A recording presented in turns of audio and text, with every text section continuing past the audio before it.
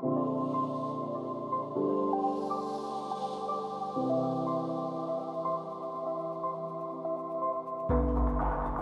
name is Venkatesh Rao, and uh, uh, it's kind of complicated to introduce myself, so you can go to my uh, website. I'm basically a blogger and a couple of other things. And uh, I promise you, this is the only meme I'll throw at you. Uh, so I do write a blog, a newsletter, and so on. And this is going to be a pretty abstract talk um, at a fairly high level, uh, but I do have like at least some experience dabbling at a very hands-on beginner level. So I'm coming from somewhere, as in it's not up in the cloud. So if you're interested, I did a long thread uh, last year about uh, my initial explorations of Web3 stuff. Okay, so the title of my talk, There Are Many Alternatives, it's a reference to Margaret Thatcher's famous line, there is no alternative. She popularized it, I think, starting in 1980, and it became the catchphrase of uh, neoliberalism. And the basic idea was that as communism was beginning to get discredited, there was increasingly no alternative to the idea of Western liberal democratic uh, ways of running countries with free markets and the institutions that came with it. And it became sort of the um, core of what became known as the Washington Consensus. So for those of you who need the short history lesson, um, this was a consensus before blockchain type consensuses. And this was the set of practices that the World Bank and uh, IMF used to sort of dictate to countries how they should run their economies. And this was around 1989. And as the uh, Cold War ended, the thesis became more than an economic thesis, and it leveled up into a sort of philosophical historical thesis. And one of the things that really helped this along was this book that came out in 91 called um, The End of History and the Last Man.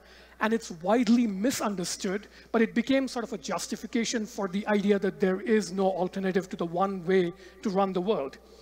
And of course, uh, as many of you remember, a lot of people were very unhappy with the idea of there is a one single playbook of how to run the world.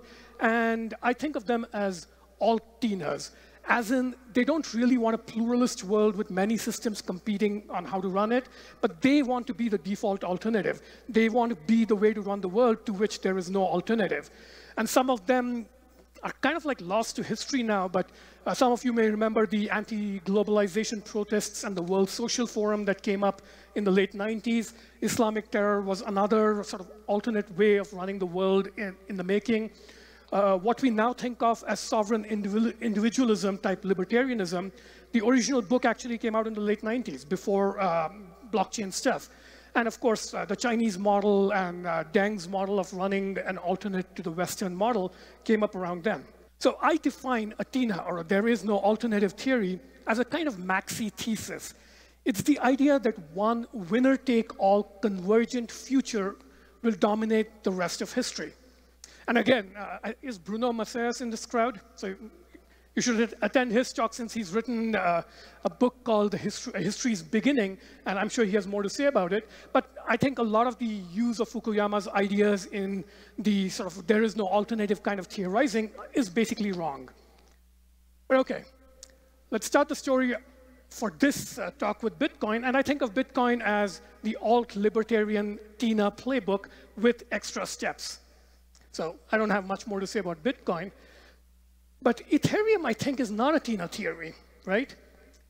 It seems to enable many divergent stories even within itself and in its relationships to other things, right? So within the Ethereum universe, you've got artists with their NFTs, you've got DeFi degens like going for yield farming, and these are very, very different types of people. They're not like you know, when you talk to Bitcoin maxis, you expect them to be eating beef, reading the same books, and sort of spouting the same ideology. When you talk to Ethereum uh, people, if you pick one at random, you have no idea what you'll get. You could get like a far left person into art. You could get a far right person who's kind of like indistinguishable from Bitcoiners.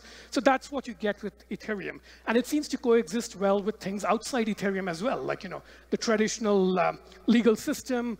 It has ways of like inter interoperating with them and so forth. Okay, let's give that property a name. I'm going to call it hypercomplexity.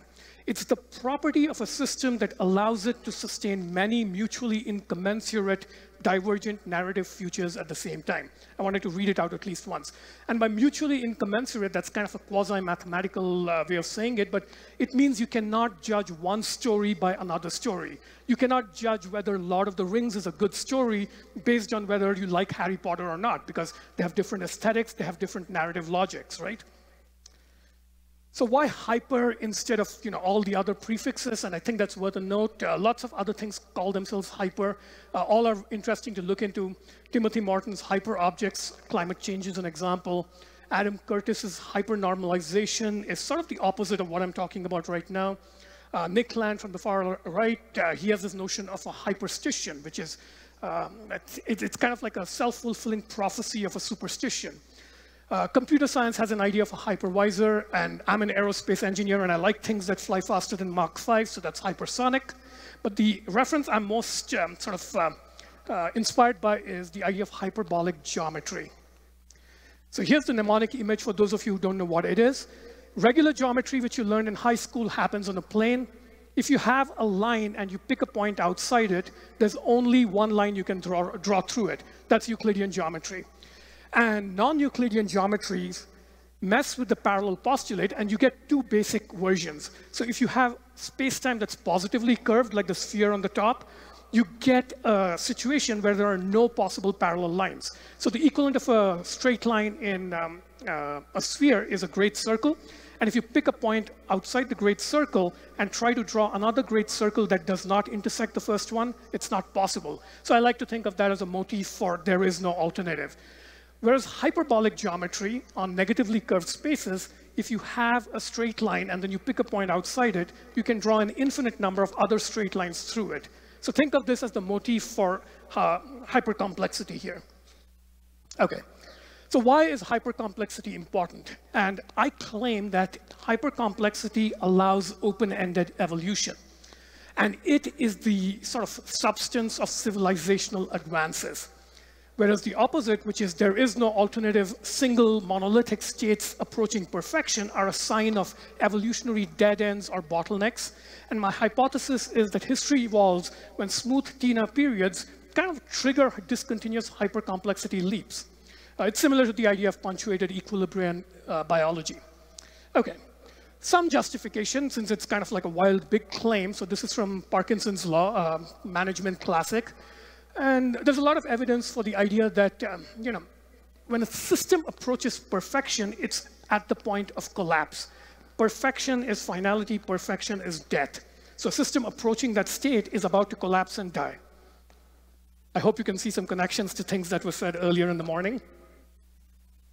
And uh, Tim had this slide up yesterday, and yeah, it made me grit my teeth because it makes my talk a little harder.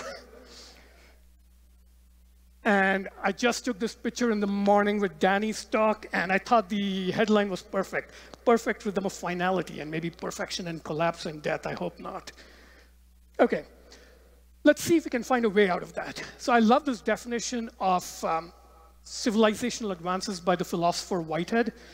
Um, civilization advances by extending the number of important operations which we can perform without thinking about them. So basically, the idea is civilization is a series of automations of important things. Okay?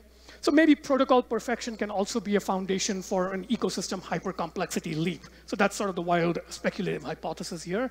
Yeah, so a major category of important operations is basically dealing with conflict amongst mutually divergent narratives, right? Many stories are being told.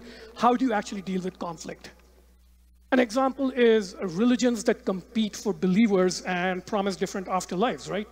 And for thousands of years, we did not actually have a good way of dealing with this. And freedom of religion, you can think of it as a Whitehead advance that automates this particular important operation. And in this conference of like 3,000 people, uh, some subset of you are in this room, I'm sure that many religions and many levels of sincerity in religious belief are represented, and there's a lot of atheists, but fundamentally, we sort of figured out about 300, 400 years ago what it takes for multiple religions to live in the same area without killing each other, right? So we've replaced religious wars with a kind of pluralist peace. an example, a list of examples of Whitehead advances. So I've compiled this from a bunch of sources. you can see that at the bottom. Uh, the first three are from Fukuyama's uh, other book, really good. I strongly recommend it if you're interested in these topics, The Origins of Political Order. The first three are civilizational leaps that really allowed more and more divergent stories to live in the same region or nation or country, right? Strong centralized state, rule of law, which is a very different idea than rule by law. If they're just uh, laws, that's not enough. You need everybody to be under the law. Some people cannot be above the law. So that's rule of law. And China, even though it innovated a strong central state, it did not develop and still has not developed rule of law. It has rule by law. And that developed in Egypt, India, and later on through Europe, then accountable government. Forgiveness is an idea Hannah Arendt points out is uh, kind of a novel innovation that came out of Christianity. That took us from a regime of like vendetta-filled stories, of like, you know, killing each other in tit-for-tat stories, to much more pluralist stories where maybe you didn't have to kill each other. Maybe forgiveness and uh, moving forward is a way. Separation of religion and state. This is a fairly recent idea. Spinoza in the 1670s actually had to kind of invent the idea, and states had to kind of be developed on uh, the basis of that. Modern markets, um, I strongly suggest you read Brad DeLong's new book that just came out, Slouching Towards Utopia. And of course, what we're talking about here, I think crypto is actually one such civilizational advance or leap. And I think there's another big contender in the world today, which is machine learning. And it's kind of interesting that we have do, these two things. And I was tweeting a while ago that uh, maybe crypto is the first foundation and machine learning is the second foundation, like, you know, in Asimov's uh, psychohistory. Okay, so let's put all these things together. What's the connection between complexity, hypercomplexity, ossification, civilizational advances? Lots of big, vague terms. Let's start with complexity, and there's like lots and lots of different ways to think about complexity. I'm not going to be talking about all of these, but happy to like sidebar with anybody who's interested. I could talk for an hour on each of these. Um, all are the technical ways. Uh, these are all technical ways. There are social and humanities ways of thinking about complexity, but I'll go with technical. Um, and the one I want to like highlight for understanding our topic is one known as Cynefin. It's pronounced Cynefin. It's a Scottish word. It looks like Cynefin, but it's Cynefin. And it was uh, developed by this guy, Dave Snowden. And this is the picture. It thinks of systems in the, um, within this framework of four regimes of clear, complicated, complex, and chaotic. And they're each described by a pattern of constraints and a pattern of how to operate effectively within them. So if you work backwards from chaotic, Chaotic systems lack all constraint and the bits and pieces are highly decoupled, which means you have like stories that can evolve that are like disconnected and mutually incommensurate, like I said. And the best way to act within them is kind of adventurously. So, you know, act, sense, respond. That's the phrase they use, which is kind of like living dangerously. You could die. Once you get to complex regimes, you have slightly loosely coupled system, so it's no longer decoupled, and you have a more experimental regime where you can do like, you know, trial and error, and it won't always kill you, and there's an opportunity to learn and evolve without killing yourself. Then you get to complicated, where constraints start to get tightly coupled, and you're, in a sense, analyze respond regime where think of it as you have to look at a situation, model it, analyze it, you know, with spreadsheets and equations and everything. And chances are, if you think clearly and do it well, it actually won't require much trial and error or you know, killing yourself. And finally, clear, it's a completely constrained system. There are no degrees of freedom. There is no alternative. And all you can do is look at reality, sense it, categorize it, and respond. You're almost an automaton. You're a bot. OK, let's map this to everything we've talked about so far. So the Whitehead definition of uh, civilization, I think, maps to the path from chaotic to clear. Right? You have a chaotic system you add a little bit more thinking and advancing, and it becomes a complex system where it's still hard to manage, then it becomes a complicated system, and then finally it becomes a clear system where it's been fully automated, and you don't have to think about it anymore. And the right half of that kind of two by two is the there is no alternative regime, right? Complicated plus clear. That's what things that there are no alternative to look like. If you look at the neoliberal world order and the Washington Consensus, World Bank's playbook, IMF's playbook, that looks like the part on the right. There is no alternative. It's a complicated and in some places clear thing. And of course, if you want to add the idea that towards perfection you get collapse, you have a leap, a red leap from clear to chaotic, where a system approaches perfection, acquires fragility, collapses, and then you're back in chaos, all right? So this is how I think of uh, hypercomplexity. This is the picture on which it evolves. So the question is, can we eliminate crisis pathways in this whole process of evolving hypercomplexity? Can we have smoothly increasing hypercomplexity without these, you know, there is no alternative bottlenecks? And my belief is no, you cannot. Maybe you guys think differently, but all right. But can we at least reshape crisis pathways? So I went from green, but not quite red, so an orange pathway. I think of this as equivalent to the question, can you do the equivalent of Asimovian psychohistory? And my belief is, yeah, maybe you can do it. This is sort of a very janky work in progress definition, but the idea is if you respond to a looming crisis by tweaking the system at an axiomatic level somehow, maybe the big crisis becomes a small crisis or even a no crisis. And maybe because of that, you benefit by getting a period where hypercomplexity can grow, right?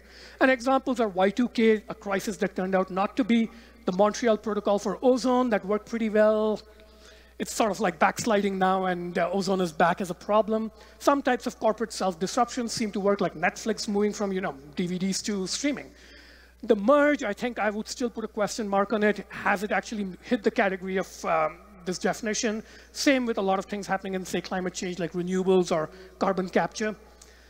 And note that this is not resilience or accelerationism, which are two other ways of thinking about this um, problem. Resilience is you make yourself tough enough and redundant enough that you can sort of power through the crisis and come out maybe a little broken and battered, but you're still alive. That's resilience.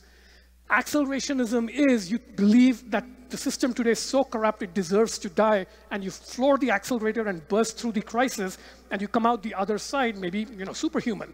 And a lot of the accelerationists, uh, it started as a right-wing philosophy, now there's a left accelerationism as well. But this is neither resilience nor accelerationism. This is what I think of as exaptation. So, you know, adapting to something kind of before it happens. So this is where I think it maps to, this is another uh, slide stolen from uh, Tim yesterday. So we had a candidate um, hypercomplexity leap starting. And before ossification, maybe we will enjoy a period of hypercomplexity growth. And that's a pretty blurry picture, but that's about as blurry as my understanding, so I'm fine with that how do you design for this uh, process of like, you know, hopefully reshaped hypercomplexity evolution? So in search of design principles, you can think of like um, the spirit of the design principles first. So first thing I want to do is infer what hypercomplexity is like from historical examples, not theories. So the list of examples I looked at before, you know, like development of the state, the emergence of Christianity, things like that. It's not the original TINA playbook of neoliberalism. It's not the Silicon Valley uh, playbook. Some of you may recognize uh, the phrase breaking smart. I wrote a set of essays uh, while working with Andreessen Horowitz about seven years ago, and that's the Silicon Valley playbook. I sincerely believe what we're entering now is no longer the Silicon Valley playbook. Uh, and of course, um, what all the other alt-TINA playbooks, the socialist one, the libertarian one, I think they're all kind of like not candidates here. So right now, I'm just thinking through the phenomenology that I think is important in hypercomplexity. It needs theorizing. And I added those last two points as I was listening this morning. I love the idea of subtraction over addition. And I was surprised to hear so many mentions of infinite game over finite game. I'm really pleased to hear that because James Carse is one of my favorite authors. And I had the good fortune to uh, be in a salon where he spoke uh, a few weeks before he died. So one of the last opportunities to hear him. And one of the interesting things was I had assumed he would be kind of this very spiritual, theological, philosoph uh, philosophical guy who would, um, I don't know, I had a certain picture in my head, but it turns out he's a jock. At one point in his life, he was an athlete, a football player, and it was really sort of like, you know, a narrative violation for me. But when he thinks about finite and infinite games, he literally comes from a background of real sports and games. And it's when we talk about like, you know, hyper games on top of Ethereum, you really should actually think about real games as well, not like an abstract game theory.